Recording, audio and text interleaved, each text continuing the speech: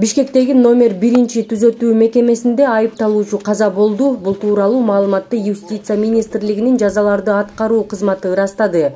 Маалыматка караганда жыйырма сегизинчи августта болжол менен ноль беш кырктар чамасында эртең мененки тамакты таратуу учурунда мурда соттолгон чүй облусунун тургуну бир миң тогуз жүз сексен жетинчи жылы туулган жаран эс үчүн жоготкон абалда табылган ал номер биринчи түзөтүү мекемесине үстүбүздөгү жылдын жыйырма алтынчы августунда сот тарабынан аныкталган тогуз айдан ашык мөөнөттүн аягына чыкпай чүй районундагы камактан качып кеткени үчүн камалган нөөмөттө турган фельдшер чакырылып биринчи медициналык жардам көрсөткөн бирок бул натыйжа берген эмес.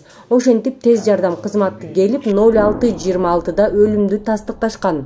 Жазаларды аткаруу кызматынын тергөө башкармалыгы тарабынан соттук медициналык экспертиза дайындалып анын жыйынтыгында каза болгон жарандын денесинде жабыркаган белгилер аныкталган эмес.